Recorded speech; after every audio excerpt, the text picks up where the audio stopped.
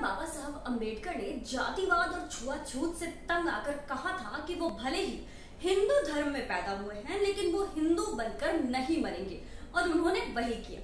अपनी मौत से कुछ महीने पहले बाबा साहब ने बौद्ध धर्म अपना लिया था। यानी कि वो भले ही हिंदू पैदा हुए, लेकिन मरते वक्त वो एक बौद्ध थे। हालाँकि अब सबसे बड़ा सवाल है कि भारत में कई धर्मों को मानने वाले लोग हैं। जिसमें इस्लाम हिंदू धर्म के बाद सबसे प्रचलित है।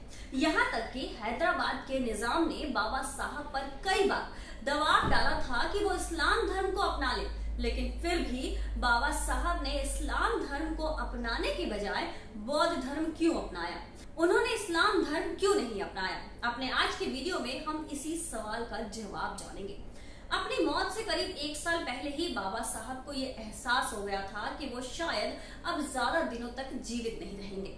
इसलिए अपनी प्रतिज्ञा पूरी करने का फैसला किया। उन्होंने सभी धर्मों पर शोध शुरू किया। इसी बीच हैदराबाद के निज़ाम चाहते थे कि बाबा साहब इस्लाम धर्म अपना ले। इसके लिए बाबा साहब से कई बार निज़ाम ने बात भी की थी, लेकिन तब भी बाबा साहब ने इस्लाम नहीं अपनाया।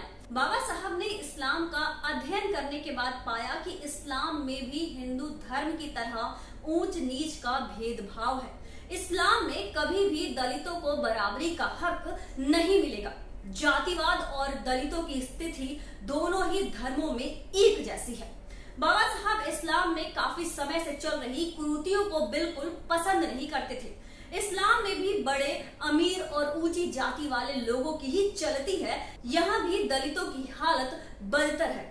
दलितों की जो भी दुर्दशा है, उसमें दास प्रथा का और इस्लाम दास प्रथा को बढ़ावा देता है। इस्लाम में दास प्रथा को खत्म करने को लेकर कोई कमिटमेंट नहीं है।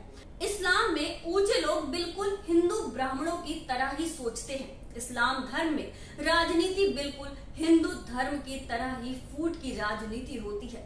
इसके अलावा इस्लाम में महिलाओं की दशा बेहद खराब थी।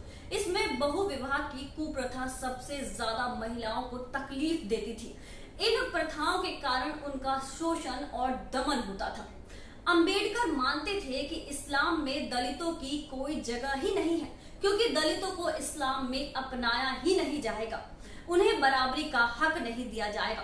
साथ ही, इस्लाम में कुरूतियों को दूर करने के विचारक ही नज़र नहीं आते हैं। न ही वो पुरानी रूढ़िवादी सोच से बाहर आना चाहते हैं, और बिना इन कुरूतियों को खत्म किए बिना समानता नहीं मिल सकेगी। इन सभी विचारों को ध्यान में रखकर ही बाबा साहब को बौद्ध धर्म ही एक ऐसा धर्म लगा जिसमें उन्हें समानता नज़र आई थी और इसलिए उन्होंने इस्लाम के बजाय बौद्ध धर्म अपना लिया था।